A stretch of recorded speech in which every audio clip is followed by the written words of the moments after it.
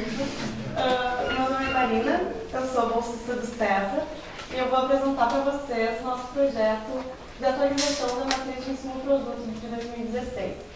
Nosso projeto é uma atualização a partir da NIP de 2008.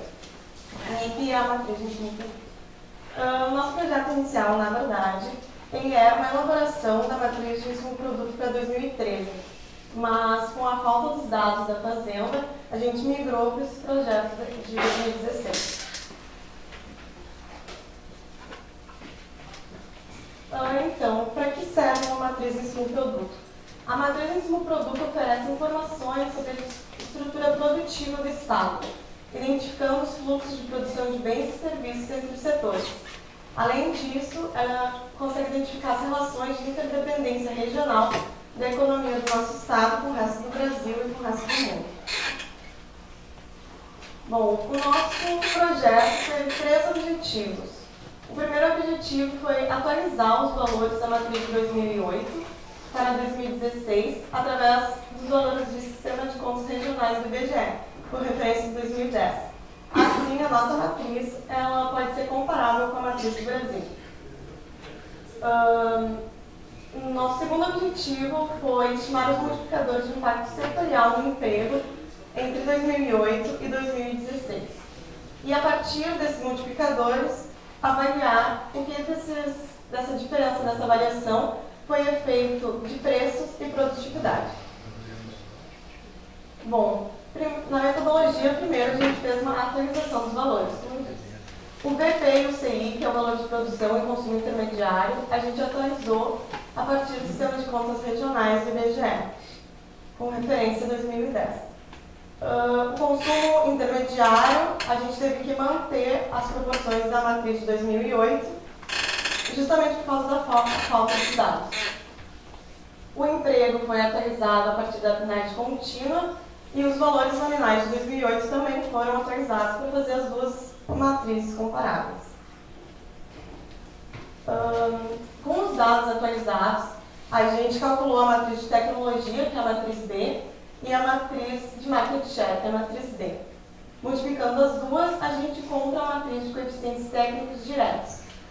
Subtraindo essa matriz da matriz de identidade, invertendo ela, a gente tem a matriz de impacto intersetorial, que é a matriz de Lomchek, que era o grande objetivo do projeto. Com essa matriz, é possível calcular a produção de cada atividade e a partir e a sua variação a partir de uma demanda exógena. Bom, para calcular os multiplicadores de impacto no emprego, a gente, fez, a gente teve que deflacionar os valores de 2008 de 2000, para os preços de 2016 a partir do deflator setorial das contas regionais. Assim, a gente calculou para os para três multiplicadores para dois anos, para 2008, 2008 a preço de 2016 e 2016.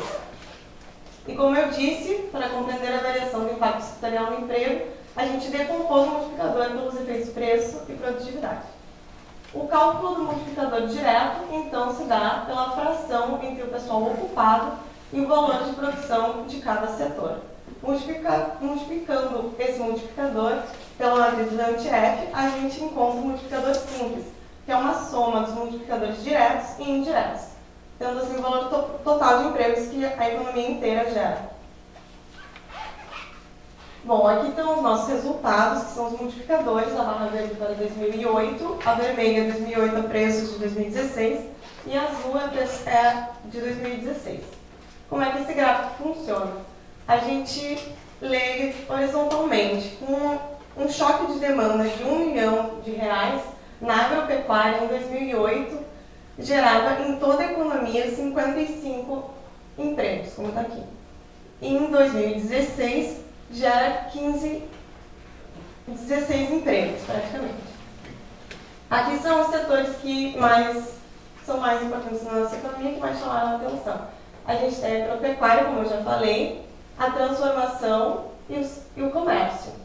Uh, em 2008, um choque de demanda de um milhão de reais criava na, na transformação, um choque de demanda na transformação gerava na economia inteira 19 empregos, enquanto em 2016 gerava 8,2 empregos, e o mesmo para todas as atividades. Como vocês podem ver, aqui na agropecuária, a gente calculou o multiplicador de 2008 a preço de 2016. Assim, a gente tem aqui entre a barra verde e a barra vermelha a variação do efeito de preço. Entre a barra vermelha e a barra azul, a variação do efeito da produtividade. Na agropecuária, esse efeito foi quase dobrou a produção, a produtividade do setor. Como a gente pode ver pelo gráfico de decomposição das variações. Aqui a gente vê a decomposição na agropecuária, a gente teve um aumento de 129% na produtividade nesse, entre 2008 e 2016 e teve um aumento de 52% dos preços. A variação do multiplicador da transformação, ela se deu metade pela, pelo efeito preço e metade pelo efeito da produtividade.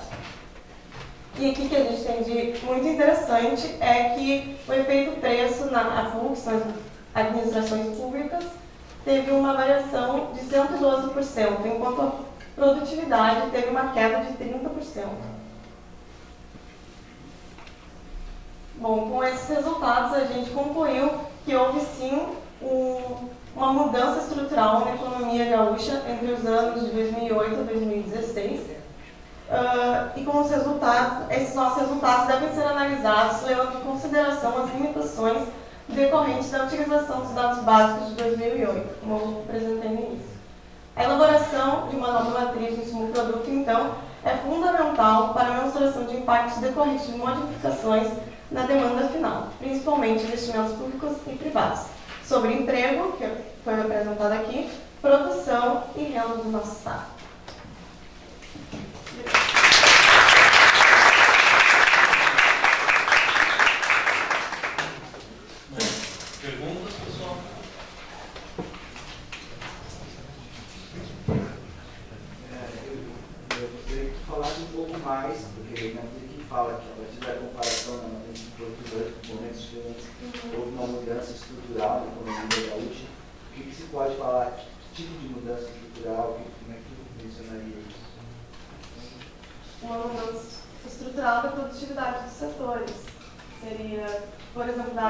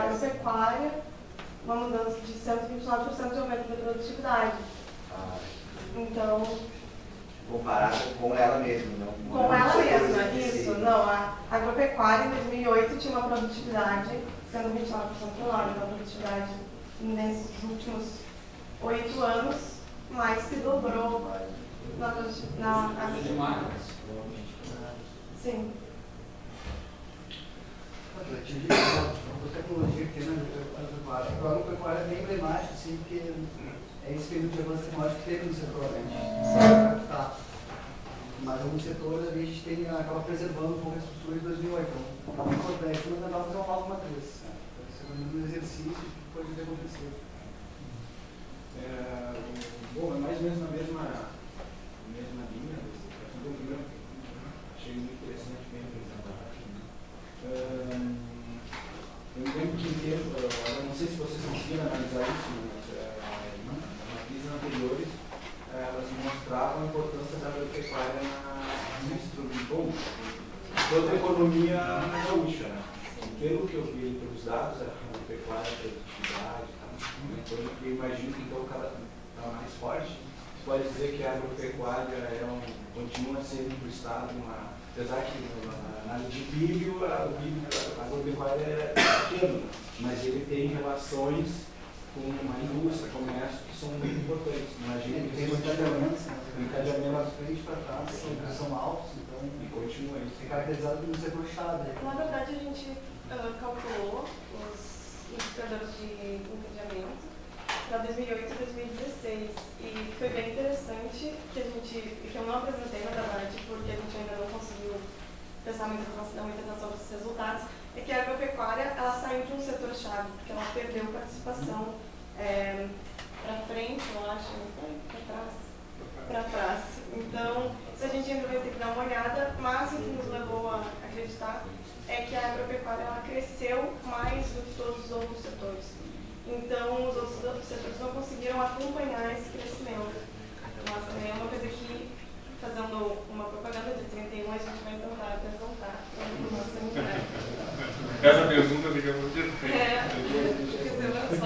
します。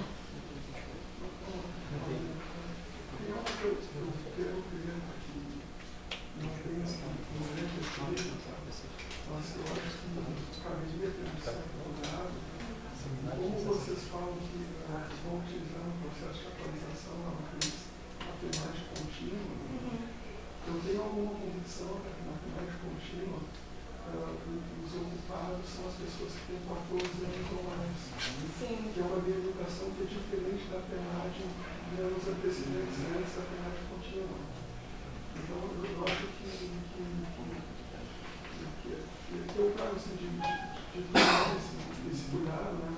ainda que, que a diferença, porque isso é uma diferença de população, de definição de população e idade ativa. Né? Isso provavelmente não deve ter um grande efeito, mas eu acho que é interessante atentar para isso. Né? Mas esse setor com agropecuária. Mas emprego, sociedade. Obrigada. A ideia de usar a foi isso, foi usar os dados que a gente fez, né? Sem os valores das fontes. A gente fez, a gente o exercício inicial que foi dados de 2014, que é um caso fontes, né? Só que o trabalho na atualidade. Eu não lembro se chegou a muita diferença, mas. Não, ficaram muito parecidos os resultados, inclusive de 4 anos. Mas a gente tem que avaliar isso.